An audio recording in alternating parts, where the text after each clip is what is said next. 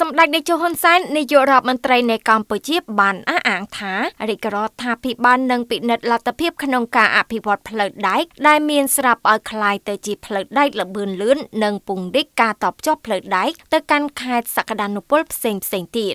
ដើម្បីកាត់បន្ថយគ្រោះថ្នាក់ចរាចរណ៍និងបង្កើនសមត្ថភាពការដឹកជញ្ជូនផ្លូវដែកថ្មីដែលក្រុងនឹងបង្កើតថ្មីត្រូវបានសម្ដេចនាយកប្រមុខរាជរដ្ឋាភិបាលបញ្ជាក់ថា ភ្ជាប់ពីផ្លូវដែកដែលមានស្រាប់នៅក្រុងប៉ោយប៉ែតទៅកាន់ខេត្តសៀមរាបឆ្ពោះមកកាន់ខេត្តកំពង់ធំនិងមករាជធានីភ្នំពេញជាមួយគ្នានេះក៏មានការភ្ជាប់ពីផ្លូវដែកពីរាជធានីភ្នំពេញទៅកាន់ក្រុងបាវិតខេត្តស្វាយរៀងព្រំដែនកម្ពុជាវៀតណាមផងដែរការអះអាងរបស់សម្ដេចនាយកហ៊ុនសែនធ្វើឡើងក្នុងកិច្ចប្រជុំពេញអង្គគណៈរដ្ឋមន្ត្រីដែលរៀបចំឡើងនៅព្រឹកថ្ងៃទី16ខែធ្នូឆ្នាំ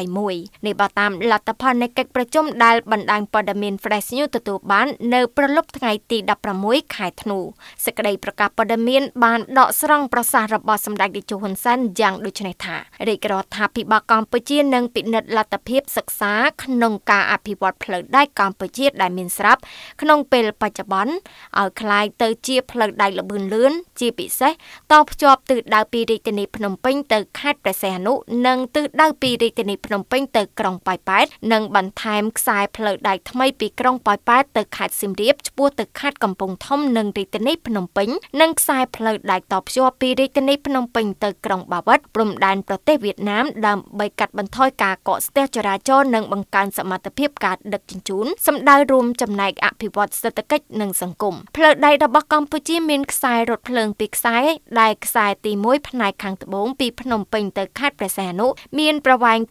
266គីឡូម៉ែត្រនិងខ្សែទី2ផ្នែកខាងជើងពីភ្នំពេញទៅប៉ោយប៉ែតមានប្រវែង386គីឡូម៉ែត្រ